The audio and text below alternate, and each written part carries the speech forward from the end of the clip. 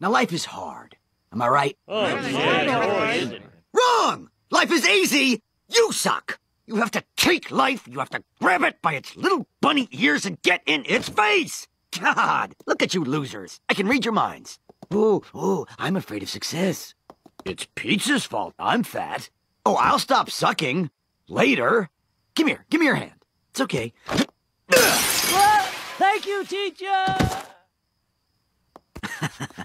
You see this watch? It's jammed with so many jewels, the hands can't move. What kind of watch do you have?